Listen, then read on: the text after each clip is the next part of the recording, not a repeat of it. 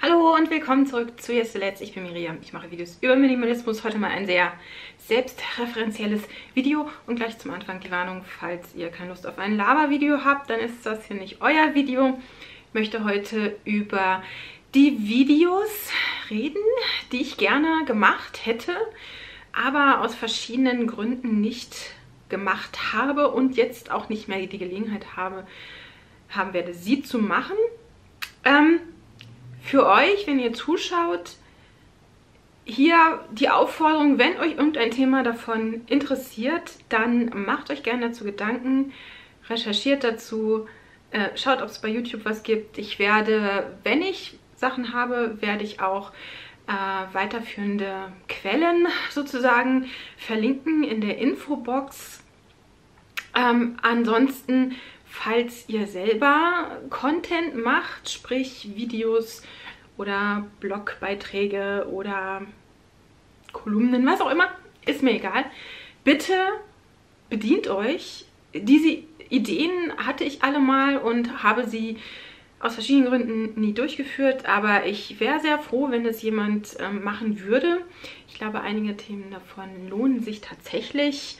Ähm, es gibt natürlich, gerade zu Anfang muss ich das sagen, es gibt viele ähm, Bücher, die ich gerne noch rezensieren würde. Einige habe ich aus den Kommentaren. Ähm, Marie Kondo hat jetzt ja auch ein neues ähm, veröffentlicht, ähm, das irgendwie so eine Art Bildband ist oder so. Ich glaube, es geht um Einrichtungen. Ähm, das kostet allerdings 34 Euro. nein. Ähm, dann natürlich, ich hätte immer noch gerne mein absolutes Lieblingsminimalismusbuch rezensiert und zwar heißt das Discardia. Äh, Discardia ist so eine Art ähm, erfundener Feiertag, der dreiteilig ist. Der wird also ähm, dreimal im Jahr gefeiert und jedes Mal hat er eine andere Bedeutung. Im ersten Schritt geht es dann tatsächlich ums Ausmisten und dann im zweiten und dritten Schritt ähm, sozusagen nicht nur Platz schaffen, sondern auch den Platz mit was Neuem, Guten füllen in seinem Leben. Das hat auch ein bisschen was mit Produktivität zu tun. Aber ich will jetzt gar nicht direkt drauf eingehen. Falls euch das Buch interessiert, ich lasse euch den Link mal da. Könnt ihr euch mal die Rezensionen angucken oder die Webseite der Autorin und dann könnt ihr entscheiden, ob das was für euch ist. Das Buch gibt es bisher nicht auf Deutsch. Das ist sicher auch noch ein Hindernisgrund. Hinderungsgrund. Okay. Ähm, ja, wie gesagt, es gibt viele Bücher, die ich noch gerne rezensiert hätte. Ich belasse es einfach bei dem, was ich jetzt noch dieses Jahr schaffe. Dann ein Thema, was mir noch sehr am Herzen gelegen hätte, was mir auch, glaube ich, sehr viel Spaß gemacht hätte. Ich werde dieses Thema nicht komplett aufgeben, sondern weil es ein, auch ein, ein Literaturgenre ist, werde ich es auf einem anderen Kanal behandeln, allerdings erst nächstes Jahr. Und das Thema ist Solarpunk. Ich hatte das schon mal kurz angesprochen in einem meiner Favoritenvideos, wo ich euch auch so eine Art Rechercheauftrag gegeben hatte, weil ich jetzt selbst gar nicht so viele Quellen hatte. Ähm, Solarpunk ist ja ein, ein Literaturgenre, ein, also parallel zu Steampunk oder Cyberpunk.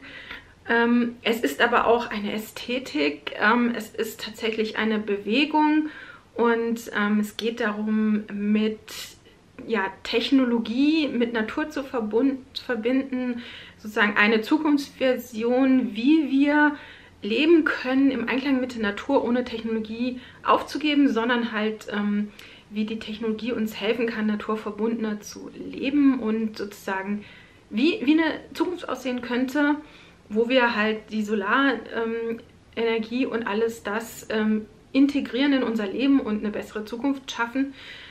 Ähm, es ist eine sehr hoffnungsvolle Art, die Zukunft anzugucken. Ähm, ich wurde damals auch darauf hingewiesen, es gibt noch einen Kanal auf YouTube, der sehr viel in dieses Thema rein investiert und das ist ähm, Andrewism. Das werde ich euch auch mal verlinken.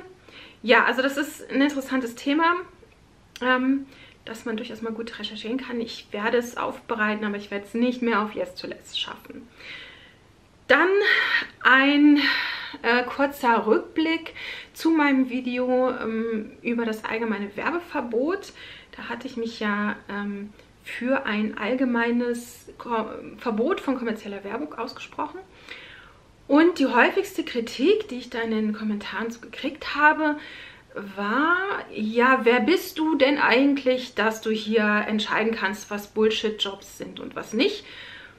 Und erstmal zu der Frage, ich finde die halt immer komisch, weil wollen wir über Inhalte diskutieren oder wollen wir über Personalien diskutieren? Ich glaube, das mit den Inhalten ist doch interessanter. Jedenfalls ähm, bezieht sich das jetzt aber nicht auf diese Frage, sondern auf den Begriff Bullshit-Jobs. Ähm, ich, ich gebe zu, das ist mein Fehler. Ich habe gedacht, dass dieser Begriff schon im Mainstream angekommen ist. Ich habe auch schon mit Leuten darüber diskutiert. Deswegen bin ich eigentlich davon ausgegangen, dass man das erkennt oder dass man den Begriff kennt, äh, was aber offensichtlich in, bei manchen Leuten nicht der Fall war. Ähm, äh, eigentlich hätte man das auch schon daran sehen können, weil ich normalerweise drücke ich mich ja so jetzt nicht aus. Ich sage ja auch nicht irgendwie Bullshit-Buch oder sowas. Bullshit-Jobs ist tatsächlich ein feststehender Begriff. Äh, das kommt von einem Buch, was David Graeber äh, veröffentlicht hat, das eben so heißt, Bullshit-Jobs. Und ähm, darin beschreibt er ein Phänomen, nämlich dass es in unserer heutigen Zeit in, in der Privatwirtschaft Jobs gibt, die entweder komplett überflüssig sind oder sogar schädlich sind und ähm, für diejenigen, die sie ausführen, tatsächlich auch als sinnentleert ähm, empfunden werden. Und ähm, er hat, wie gesagt, ein ganzes Buch darüber geschrieben. Ich hatte dieses Buch hier. Ähm, ich wollte es lesen und dann sozusagen das Konzept Bullshit-Jobs vorstellen. Ähm, ich glaube, das wäre tatsächlich sehr gut gewesen, denn ich habe nicht so wirklich ein Video darüber auf Deutsch gefunden. Aber es gibt einen Wikipedia-Artikel darüber, den kann ich euch mal verlinken. Und ich hatte dieses Buch hier, ich habe es drei Monate lang nicht gelesen, ich hatte einfach keinen Bock. Und ganz ehrlich, die Leute, die sich da unter dem Video beschwert haben, die werden dieses Video eh nicht sehen. Ähm, äh, ich glaube, die hat es auch gar nicht interessiert, dass es sozusagen ein, ein soziologisches Phänomen ist. Ähm, ja, vielleicht noch ähm, für euch ganz kurz zusammen, zusammengefasst. Es gibt äh, tatsächlich verschiedene Arten von Bullshit-Jobs und, Jobs und er äh, differenziert das auch. Die Shit-Jobs gibt es nämlich auch. Das sind halt die Jobs, also ähm, bei der Müllabfuhr arbeiten oder Raumpflege. Das sind halt diese Shit-Jobs, äh, die nicht gut bezahlt werden, aber halt tatsächlich essentiell sind ähm, für unsere, unser System, also systemerhaltende Berufe äh, hatten wir ja schon während der Pandemie. Ne? Äh, ich arbeite im Marketing, äh, ich habe nicht dazu gehört. Gut, äh, also es gibt verschiedene Jobtypen. Es gibt einmal die Lakaien. Ähm, das sind zum Beispiel Rezeptionisten, die einfach nur dazu da sind, äh, die Vorgesetzten wichtig aussehen zu lassen. Es gibt die Schläger, dazu gehört auch PR. Die werden gebraucht, um andere Unternehmen im Schach zu halten. Dann gibt es die Flickschuster, die ja, Symptome von Problemen reparieren. Ähm, dann die Kästchenankreuzer, die irgendwelche Dokumentationen machen, also Excel-Tabellen und so weiter, aber halt selbst keine nützliche Arbeit verrichten. Und die Aufgabenverteiler, zum Beispiel das mittlere Management. Wenn euch, da, euch das mehr interessiert, dann verlinke ich euch den Artikel. Und ihr könnt natürlich auch das Buch lesen. Wie gesagt, ich hatte da irgendwie keine Lust drauf, obwohl es, also es hätte mich schon interessiert, aber ich war unmotiviert. Kommen wir von Jobs zu Wirtschaft. Das ist tatsächlich auch noch ein Thema, dem ich mich gerne gewidmet hätte, weil ich mache hier ja viel äh, Konsumkritik und auch Kapitalismuskritik. Ähm, ich äh, kritisiere, äh, wie mit Werbung und mit Konsum umgegangen wird in unserer Gesellschaft und dass Arbeit und oder das, das, das Verhältnis von, von Wert zu Arbeit gestört ist und auch zu, zu ähm, ja, Waren, dass wir teilweise für ein T-Shirt 2,50 Euro bezahlen und das aber überhaupt nicht dem Wert des T-Shirts entspricht. Und es wäre einfach mal für mich interessant gewesen, ähm, zu schauen, welches alternative Wirtschaftssystem gibt es denn? Wie kann man sozusagen dieses Problem lösen, dass der Kapitalismus ja immer weiter wachsen muss und ähm, wir eigentlich aus diesem äh, Kreislauf nicht mehr rauskommen? Ähm, was, was wäre sozusagen als Alternative da? Und ähm, das Problem ist, ich bin Geisteswissenschaftlerin, ähm, ich kenne meine Grenzen und ich weiß, dass ich nicht klug genug bin und nicht genug Wissen habe, um die Wirtschaft in ihrer Gänze erfassen zu können und eine Ahnung zu haben, welche Auswirkungen das jetzt hat, wenn man einfach mal, keine Ahnung, in dieses System eingreift oder es versucht zu verändern oder was es überhaupt ähm, ja, passieren müsste, um dieses System zu ändern, ähm, wie man das machen könnte. Ich habe viele Bücher zu diesem Thema gelesen, ich habe viele Videos zu diesem Thema geschaut. Ich traue es mir nach jahrelanger Beschäftigung immer noch nicht zu. Ich habe ja nicht BWL studiert oder VWL oder was auch immer. Ähm, das, was dem am nächsten kommt, ist, glaube ich, äh, dieses Buch äh, Der Tag, an dem wir aufhörten zu shoppen, was ihr sicher halt mit der Frage beschäftigt, was passiert denn, wenn wir aufhören zu kaufen? Ne? Was passiert, wenn wir dann alle Minimalisten werden und nicht mehr konsumieren? Ähm, ja, aber ich selber traue mir das nicht zu, darüber ein Video zu machen, ein eigenständiges Video, weil das einfach so eine ultra komplexe Thematik ist und ich mich da auch nicht gut drin auskenne. Ähm, sprich, man macht ja auch ein Video für andere und man hat ja auch eine gewisse Verantwortung, das zu machen. Und es ist natürlich auch so, dass wenn dann jemand kommt ähm, und dann irgendwelche komischen Argumente bringt, dass ich vielleicht gar nicht darauf antworten kann. Vielleicht hat derjenige recht, vielleicht auch nicht, man weiß es nicht. Ähm, ich fühle mich jedenfalls nicht äh, klug genug, um so ein Video zu machen. Was ich ein bisschen schade finde. Natürlich könnte man sich aus einer anderen Perspektive nähern, indem man einfach sagt, ähm, ich, ich frage mal einfach ne, und, und versuche mir Antworten äh, zu, zu suchen und sich so da so ein bisschen dran tastet, aber das ist auch ja sehr schwierig.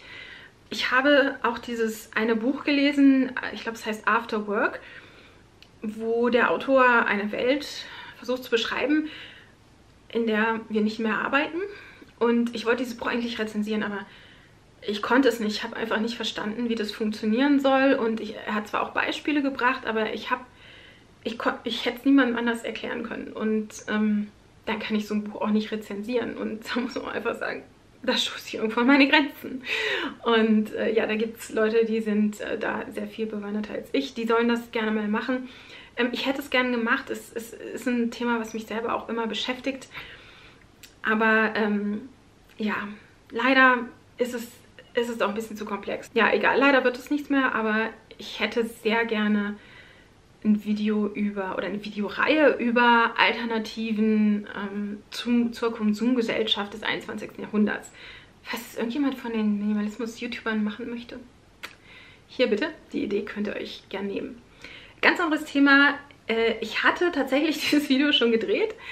Ähm, ich habe es aber nie veröffentlicht, äh, weil ich es dann doch irgendwie ah, ich habe gedacht, es kommt bestimmt nicht gut an. Und zwar habe ich ein Video über Inneneinrichtung gemacht, minimalistische Inneneinrichtung, ähm, wo dann zum Teil auch ähm, Tipps drin sind und auch so über Einrichtungsstile gesprochen wird. Ich finde zum Beispiel, dass mit Century Modern sich sehr gut als minimalistischer Einrichtungsstil eignet. Da kamen dann auch so Sachen vor, falls ihr meine Roomtour kennt, dann wisst ihr, dass ich diese Wandbehänge habe ähm, also nicht mit Mandalas oder so, sondern mit äh, richtigen Bildern drauf und die sind super praktisch, weil die kann man so klein zusammenfalten wie ein T-Shirt und dann nehmen sie nicht viel Platz weg.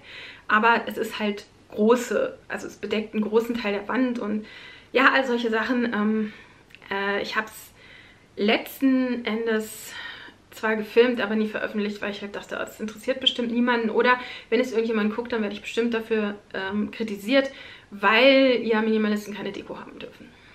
Ja. Ähm, dann fand ich auch super interessant, Tiffany Ferg hat äh, so eine Serie auf ihrem Kanal, die heißt Internet Analysis und da redet sie über Trends ähm, auf YouTube, im Internet und sie hat auch ein Video gemacht über Minimalismus bzw. Ausmisten und ähm, das fand ich super spannend.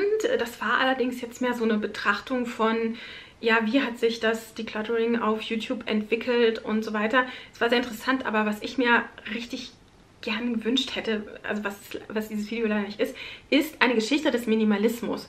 Das fände ich super spannend. Es muss jetzt nicht unbedingt sein, bis, ähm, was weiß ich, alten Griechen oder so, ähm, Diogenes in der Tonne oder was auch immer, ähm, sondern einfach so, sagen wir mal, ab den 80ern die Entwicklung, was wann, wann war es im Trend, wann ist es wieder abgeflaut, ähm, wie ist das mit der Gegenentwicklung? Die 80er waren ja sehr konsumorientiert. Ähm, warum kam es da das erste Mal auf? Dann auch so, welche weltgeschichtlichen Ereignisse hatten Einfluss darauf? Wie war das mit 9-11, ähm, die Weltwirtschaftskrise 2008, das ähm, Erdbeben, in, Erdbeben in Japan 2011? Ähm, was hat das alles gefördert? Wer waren sozusagen die Vordenker oder Vorbilder? Was gab es für Trends? Ähm, was gab es für Strömungen? Ähm, das fände ich super interessant, auch im Vergleich zwischen dem westlichen Minimalismus und zum Beispiel dem Minimalismus äh, in Japan. Finde ich super spannend. Ähm, oder auch den, den ähm, amerikanischen gegen den europäischen Minimalismus, weil die amerikanischen Amerikaner ja sehr viel mehr konsumorientiert sind als wir in Europa, wobei hm, so viel gibt es sich vielleicht nicht. Fände ich, find ich super, super, super spannend. Ähm, aber das ist halt echt ein Arsch voll Arbeit, um es mal auf Deutsch zu sagen. Dazu muss man am besten schon sehr lange dabei sein und die Trends so ein bisschen miterlebt haben. Man muss da sehr viel recherchieren. Man muss auch sehr viele Bälle in der Luft halten, weil es teilweise ähm, ja auch Dinge passieren, die sich irgendwie widersprechen oder so. Man muss halt irgendwie auch einen geschichtlichen Hintergrund kennen ähm, der jüngsten Geschichte und ähm, man muss davon sehr viel Ahnung haben, um irgendwie kompetent äh, davon berichten zu können. Ich fände es super spannend. Ich würde es mir so wünschen, dass das irgendjemand macht. Das könnte auch eine mehrteilige äh, Serie werden, aber das fände ich super spannend. Ähm, auch so zu sehen, wie sich die Trends auf YouTube entwickelt haben. Und ähm, ich weiß noch, dass ich Marie Kondo schon längst gelesen hatte. Da kam das auf YouTube total auf und war plötzlich in aller Munde und dadurch wurde auch ähm, der Minimalismus halt gehypt und ich glaube erst seit, seit dann ist Marie Kondo auch so erfolgreich. Ähm, also das sind schon interessante Zusammenhänge, ähm, die ich einfach wahnsinnig gern mal irgendwie aufgedröselt gesehen hätte.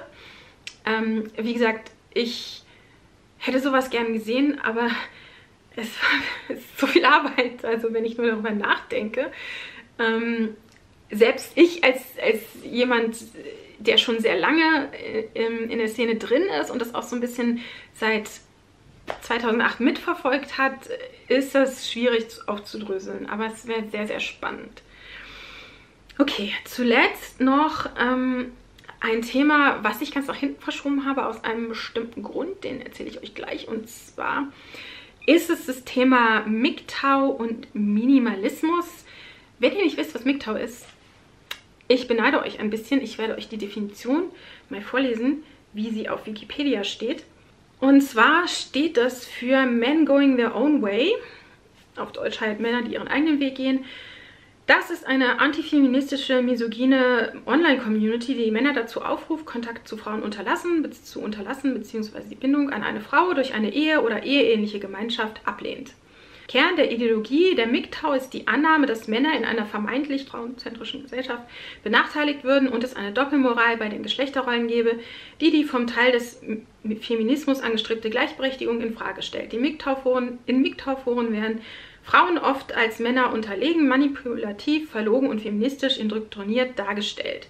Äußerungen, die die Unabhängigkeit von Männern behandeln, beispielsweise Hobbys oder Fragen des Lebensstils als Single, sind in der Online-Community mm, in der Minderheit. Die Mehrheit der Postings gegen, richtet sich gegen die vermeintlich böse Natur der Frau und dass Männer von Frauen unterdrückt, missbraucht oder getäuscht worden seien.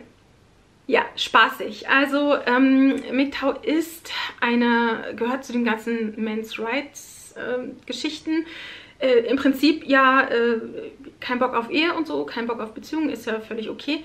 Ähm, das Problem ist halt, dass die Männer halt nicht ihren eigenen Weg gehen, sondern halt online bleiben und halt auf Frauen rumhaken. Ähm, was diese Community auch ähm, äh, definiert ist, dass, ähm, dass die Männer oft sehr frugal leben, ähm, weil sie zum Teil halt auch geschieden sind und Unterhalt zahlen müssen ähm, und minimalistisch, also Frugalismus und Minimalismus spielen in dieser Community eine große Rolle.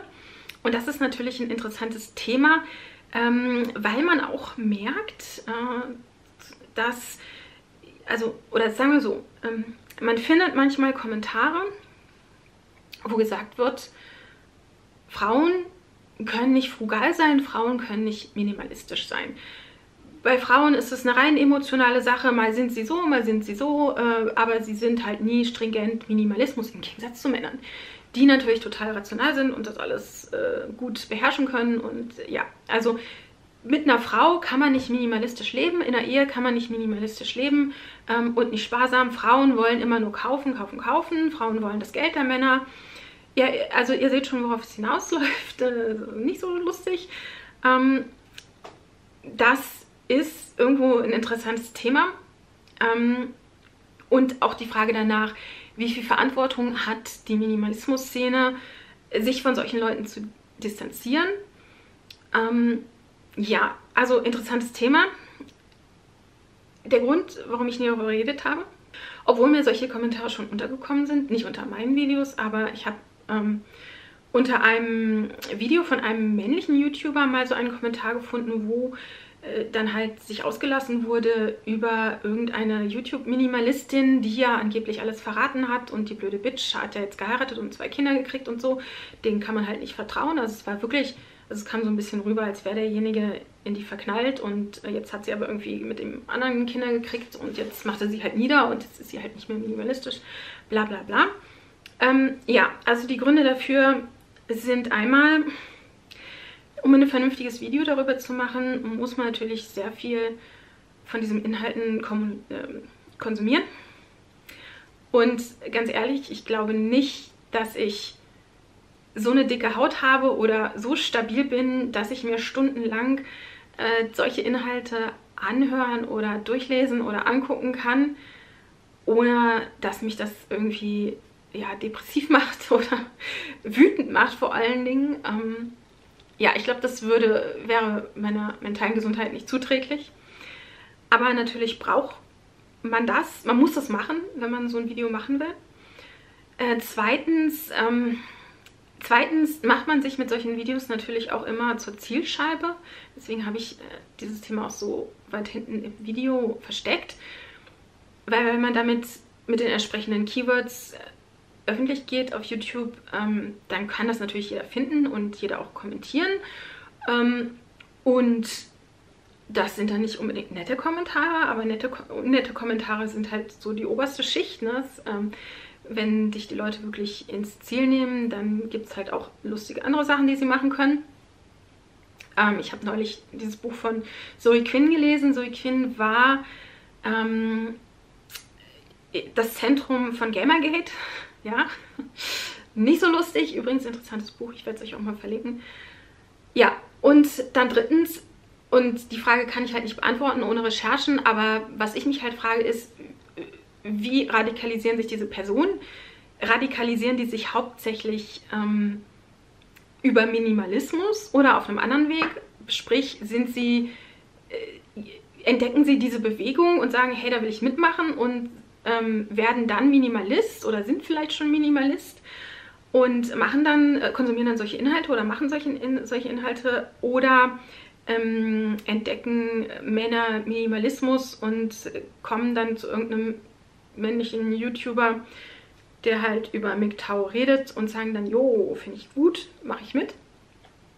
Ich weiß es nicht. Ähm, aber ich kann, mir, ich kann mir vorstellen, dass es äh, solche Lebensläufe gibt, aber ich kann mir halt auch vorstellen, dass ähm, Minimalismus zwar ein Teil dieser ganzen Bewegung ist, aber jetzt nicht unbedingt der Teil, der die Leute radikalisiert. Ein interessantes Thema, ähm, was ich noch nie irgendwo ähm, gehört habe, wo ich noch kein Video oder Blogbeitrag zu gelesen habe, was bisher ziemlich ignoriert wird. Man muss jetzt sagen, ich Allgemein ist sowas natürlich ein Problem für die Gesellschaft, weil da sich offensichtlich eine, wenn sie auch noch so klein ist, Gruppe von Menschen von der gesellschaftlichen Entwicklung irgendwie abgekoppelt hat und so eine Art Bubble bildet. Das ist natürlich nicht gut, aber ähm, also ich kenne nur einen deutschen YouTuber, der in diese Richtung geht. Der hat unter 1000 Abonnenten, also es äh, ist jetzt irgendwie nicht kein Riesenkanal und ähm, hat wahrscheinlich auf die Mitglieder schon einen großen Einfluss, aber es ist halt kein Kanal, der irgendwie jeden Tag 10.000 neue Abonnenten anzieht. Von daher, ja, ist ein Problem. Die Frage ist, inwiefern ist der Minimalismus dafür verantwortlich und vor allen Dingen, was kann ich dagegen tun? Wahrscheinlich eher nichts, äh, gerade auch, weil ich halt zum verhassten Geschlecht gehöre. Ja, ansonsten ähm, ziemlich interessantes Thema, falls sich irgendjemand mal dem annehmen würde, würde mich das sehr interessieren das waren jetzt erstmal alle ähm, Ideen, die ich noch so hatte, in meinem Hinterkopf schweben, die mich interessiert hätten. Fehlen sicher noch einige, die mir jetzt nicht eingefallen sind. Wie gesagt, falls sich irgendein Thema davon interessiert, ich versuche so viele Quellen wie möglich unten in der Infobox ähm, einzufügen. Plus, wie gesagt, wenn ihr ein, ein YouTuber seid oder ähm, Blogartikel schreibt, bitte, bitte bedient euch gerne bei diesen Themen und wenn ihr dann ein Video gemacht habt oder irgendwas dazu geschrieben habt oder Podcast aufgenommen habt, dann dürft ihr mir das auch gerne schicken. Ich verlinke das sehr gerne. Ähm, das sind wirklich alles Themen, die ich für sehr interessant und wichtig halte, aber die ich leider nicht mehr behandeln konnte. So, damit ist das Video für heute beendet. Äh, ich, äh, ja, äh, schreibt mir mal, welches Thema euch am meisten interessiert hätte. Wie gesagt, Solarpunk mache ich noch auf meinem anderen Kanal. Ähm, aber der Rest wird leider unter den Tisch fallen. Es tut mir sehr leid. Ähm, ja, aber es kommt noch ein bisschen was und ich würde sagen, wir sehen uns im nächsten Video. Bis dann. Ciao.